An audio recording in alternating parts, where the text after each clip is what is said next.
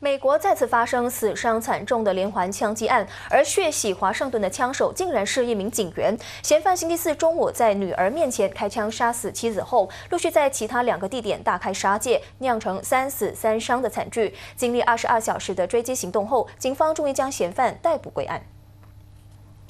Ordeal has been taken into custody just minutes ago. Thankfully, it was without the incident. Uh, he has since uh, been taken to our uh, headquarters for further questioning.